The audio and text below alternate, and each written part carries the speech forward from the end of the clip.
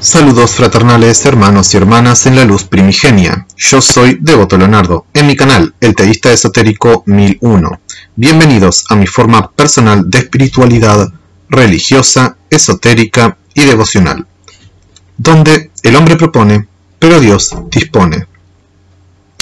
Em, y bueno, mi forma personal de espiritualidad se puede resumir en mi credo de Dios Abraxas. Yo creo que Dios Abraxas es el ser supremo que está por encima de todo y por dentro de todo. Todo emana de Dios Abraxas, mora en un fragmento de la mente de Dios Abraxas y luego vuelve a Dios Abraxas en absorción, al terminar su proceso evolutivo. Todo lo que sucede, sea bueno o malo, es bueno para Dios Abraxas, pues todo hace que el alma evolucione hacia su liberación en el tiempo eterno de Dios. El alma individual se salva por la fe en el Dios omnipresente, a través del Cristo interno individual, y las obras de bien ayudan en la evolución del alma. La mente influencia la realidad en algún grado, y la oración de fe se puede usar para pedir, agradecer y alabar a Dios, en su unidad y en su diversidad, en espíritu y en verdad. La reencarnación del alma es una expresión de la infinita misericordia de Dios, y por ley de retribución se devuelve lo bueno o lo malo que se haga a otros. La misericordia de Dios es infinita y el perdón de los pecados, propios y ajenos, es un camino a la liberación. Se debe amar a Dios con todo el corazón y amar al prójimo como a uno mismo. Dios Abraxas creó a todas las cosas con su mente y con su palabra, y el señor Fanes, renacido del huevo cósmico, es el primer ángel creador, mientras que la señora Sofía es otro ángel creador que nutre de vida a todo el universo y siempre es bueno tomar en cuenta estas cuatro cosas. 1. El hombre propone pero Dios dispone. 2. Hay que ocuparse de lo que uno puede hacer y no, hay que, angustiarse por lo que uno no puede hacer. 3. Hay que dejar que el río fluya y hay que recordar que uno mismo es uno con el camino del todo. Y 4. Si fluyes en la dirección de la corriente del río, todo te será más fácil que si vas en dirección opuesta a la corriente del río. Om, alabanza, gratitud y amor a Yahvé Dios. Yo soy un alma liberada en unión eterna a mi Cristo interno individual. Amén. Bien, en esta ponencia quería hablar sobre quién es el Logos. Bueno, en la Biblia se habla de que Dios creó a todas las cosas a través del verbo. Y en el Tao Te King se dice que del Tao procede el 1, del 1 procede el 2, del 2 procede el 3 y del 3 proceden todas las cosas. En la teosofía de Blavatsky, para Brahman, el ser supremo, crea a todas las cosas a través del logos. Es decir, el logos sería la primera emanación de para Brahman, el ser absoluto e infinito. Y a través del logos luego fueron eh, emanadas todas las cosas. Em, posteriormente Blavatsky desarrolla un poco el concepto del logos y dice que en realidad hay tres logoses. Un primer logos, un segundo logos y un tercer logos. Y justamente el tercero es el que se encarga de la creación. Lamentablemente Blavatsky no desarrolla un poco más ese concepto del logos que ella tenía. A mí siempre me llamó la atención en los escritos de los maestros ascendidos de los mensajeros eh, Kai Ballard y Geraldine Innocenti que no, volvieron a retomar ese tema, que es muy interesante. Em, ¿Quién es el Logos? ¿Cuál es su identidad? ¿Podemos invocarlo? Conocemos a un montón de entidades cósmicas, pero no conocemos a una de las más importantes, a la primera emanación de la divinidad. Durante años, en mi camino espiritual, desde que leí el Kibalión por primera vez, allá por el año 1994, hasta ahora que estoy en el año 2020, eh, ¿cuánto tiempo pasó? Montón. 1994, 2004, 2014, 2020, 26 años. Hace 26 años que estoy en el camino espiritual esotérico.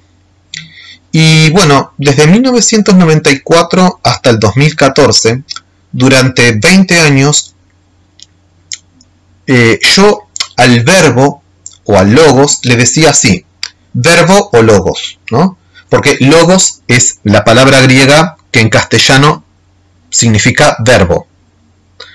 Eh, logos significa palabra, acción, expresión, razón, pensamiento.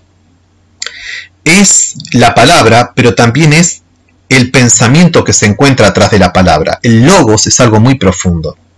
Pero bueno, podríamos decir que es la expresión de Dios. Dios crea a través del logos.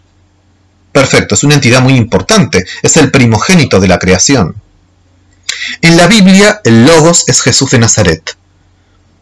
Pero claro, yo pienso que el logos es una entidad demasiado elevada como para encarnar.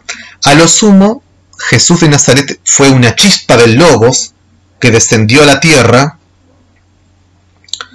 eh, para canalizar la energía del logos y traernos el camino a la salvación, el yo soy. Jesús codificó su enseñanza del yo soy en sus parábolas. Algo de las enseñanzas del yo soy de Jesús de Nazaret nos han llegado hasta la época actual. Estas enseñanzas fueron decodificadas a través del maestro ascendido Saint Germain y de em, el mensajero Guy Ballard. ¿no? El yo soy al que se refería Jesús no era a sí mismo. El yo soy se refería al Cristo interno individual dentro de cada uno de nosotros, al logos individual que hace el intermediario entre nosotros y la fuente original. Es una proyección del logos universal que está dentro de nosotros, el Cristo interno, la magna presencia yo soy. Bueno, perfecto, pero ¿quién es el Logos? Porque en las enseñanzas de los maestros ascendidos pareciera ser que Jesús no es una chispa de luz especial del Logos, sino que es solamente otro maestro ascendido más, como Krishna, Buda, eh, Saint Germain, Lao Tse, Kutumi, eh, Shual Kul, Lady Nada o Lady Miriam. Entonces, o Lady Magda también, ¿no? Entonces uno dice, bueno, o Lady Rowena, o Lord Hilarión, o cualquier otro maestro ascendido. No se le da más importancia a Jesús. Es más, se dice que él fue el avatar de la era de, Pisces y que Saint Germain es el avatar de la era de Acuario. Es como que se trata de sustituir, pareciera ser a Jesús con Saint Germain. Además, en las enseñanzas del yo soy no hay referencia a logos, y este punto no es aclarado. Recientemente escuché a un muchacho que practica una forma de neoteosofía que eh, propuso, bueno, en realidad él recibió esta enseñanza de su maestro espiritual, que a su vez su maestro espiritual la canalizó de su propia presencia yo soy.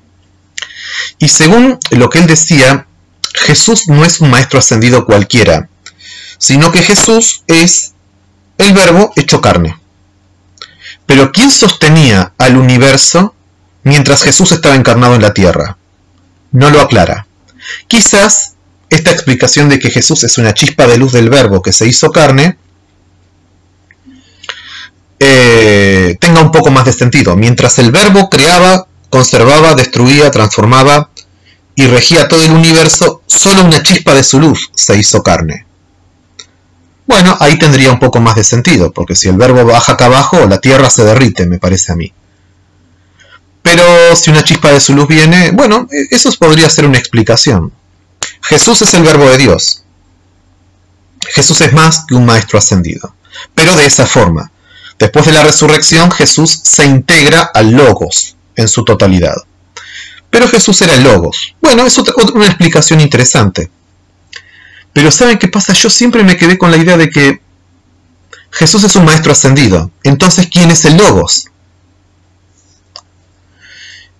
Y mm, entonces, bueno, durante años busqué en los panteones de todas las religiones quién podía ser el Logos y nunca encontré a nadie.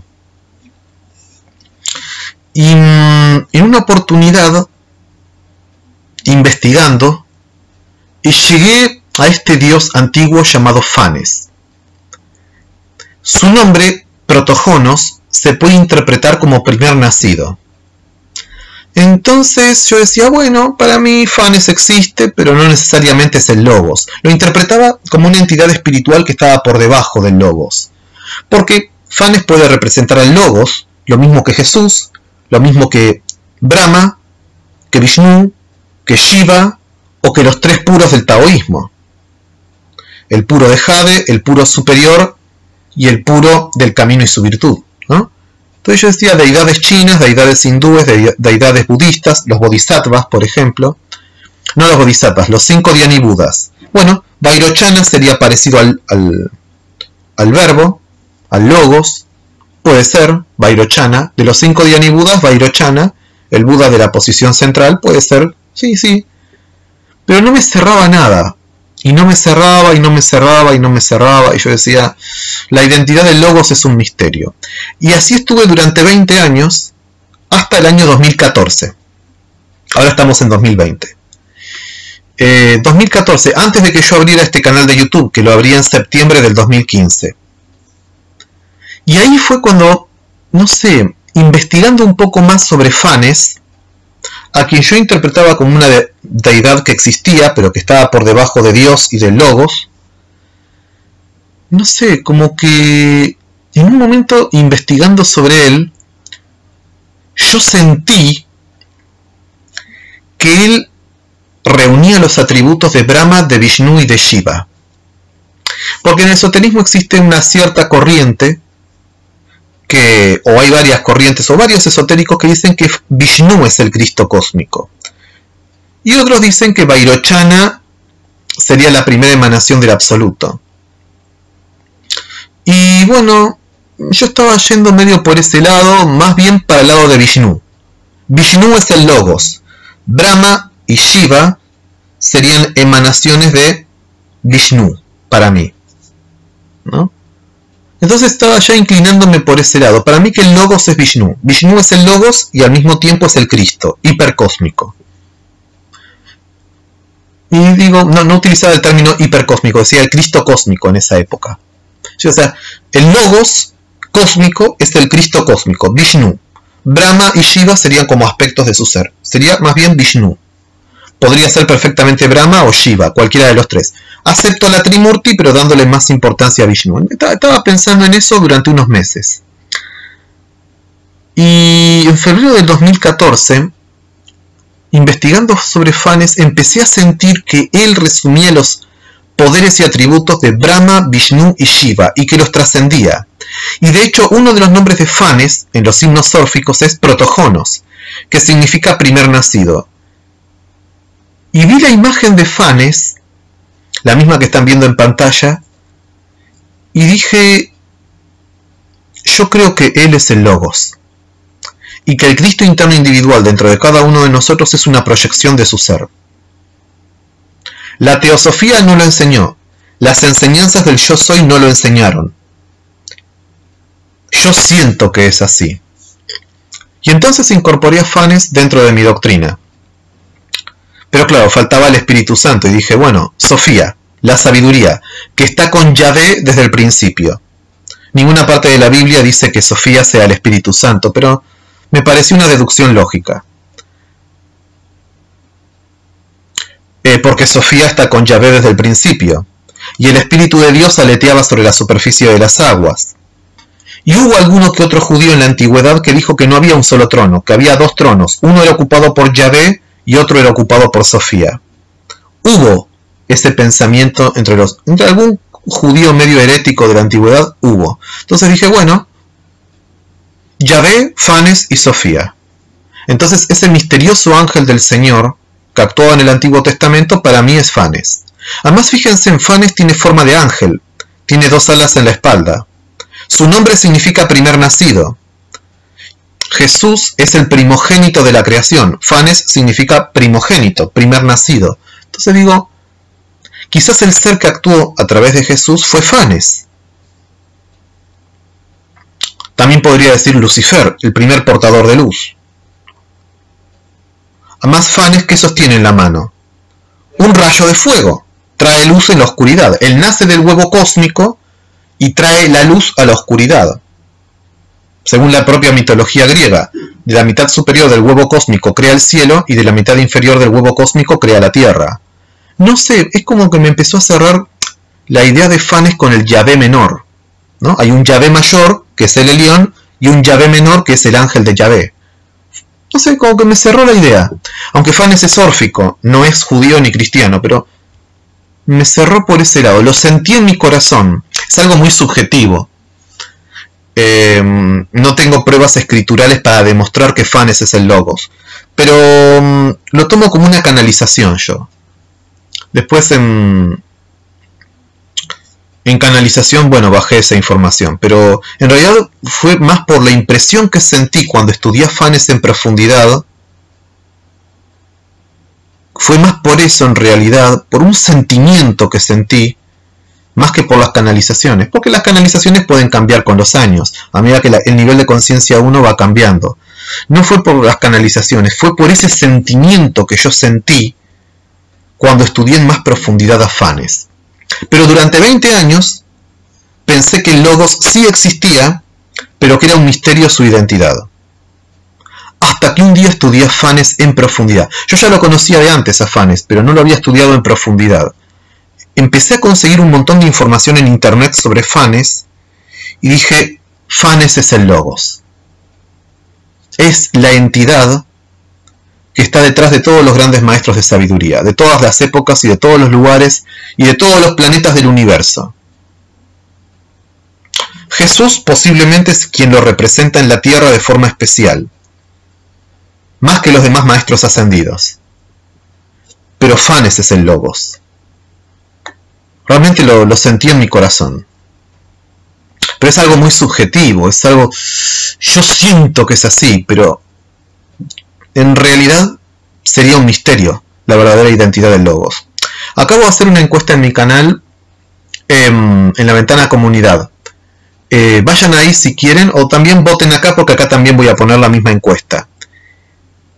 ¿Quién es el Logos para ustedes? Posiblemente sean como la mayoría de las personas que no sabemos la verdadera identidad del Logos. Hay teósofos que creen que el Logos existe, pero no creen que sea Jesús. Otros creen que neoteósofos piensan que es Jesús. Y otros dicen es un misterio. Ustedes. Y hay gente que ni siquiera cree que el Logos exista. Cree en la presencia yo soy individual y en la presencia yo soy universal, pero no en una entidad que esté en el medio. Predominantemente sobre los arcángeles, los Elohim, los maestros ascendidos, o el logos solar o el logos galáctico. No hay un logos cósmico definido en las enseñanzas del yo soy. Algunos dicen Eloja y Elojae, pero ellos no nacieron en ese estado, sino que llegaron a ese estado. Mm, no, no son el logos cósmico. Claro, la gente realmente ha olvidado a esa entidad, pero yo creo que existe, y yo la identifico con Fanes. Pero ¿con quién la identifican ustedes? Les voy a dar un conjunto de opciones y bueno, voten, voten si quieren. Bueno, tenía ganas de hablar sobre eso y de cómo Fanes llegó a ser tan importante en mi doctrina. Yo creo que él es el Logos, creo que es la verdadera identidad del Logos. Más allá de Krishna, de Buda, de Jesús, de Mitra, de Atis, de Dionisos, de Osiris, de Isis, de Horus y de todas las manifestaciones secundarias. Creo que la manifestación primordial es Fanes.